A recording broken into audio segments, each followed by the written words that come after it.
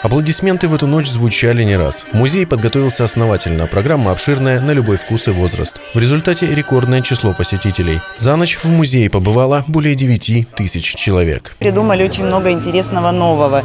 И вот э, так, таким образом пытаемся заманить к себе как бы можно больше посетителей, показать свой музей, рассказать, что у нас нового. Особый интерес вызвала интерактивная площадка «Гераклов узел». Здесь можно было не только посмотреть, но и самому попробовать, к примеру, спрясть пряжу или намолоть муки. Во-первых, что это? Первый вопрос, потому что вот лежит камень, вроде бы ничего из себя не представляющий.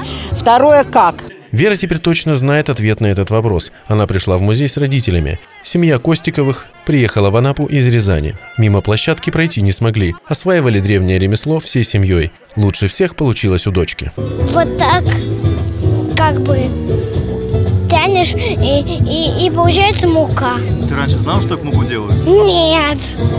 В этот раз музейным работникам помогали волонтеры. Некоммерческая организация «Серебряный возраст» известна своим участием в спортивных мероприятиях. Теперь они освоили и культурное пространство. У нас был инструктаж, и на протяжении двух недель у нас проводили с нами инструктаж, экскурсию.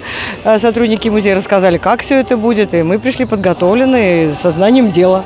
Самым зрелищным мероприятием этой ночи стали гладиаторские бои. Театрализованное шоу постарались сделать не только ярким по форме, но и правдивым по содержанию. Режиссер по основной профессии – культуролог. Костюмы и оружие делали, сверяясь с историческими документами. Но актеров подбирал уже, основываясь на своем понимании основных качеств гладиатора.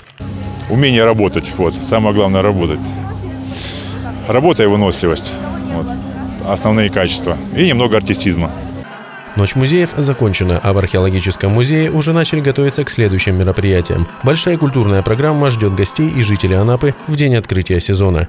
Не менее зрелищными должны стать «Ночь кино», традиционно она пройдет в последнюю неделю августа, и «Ночь искусств», которая состоится в ноябре.